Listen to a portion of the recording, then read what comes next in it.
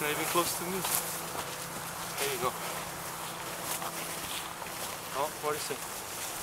To your, to your right. There you go.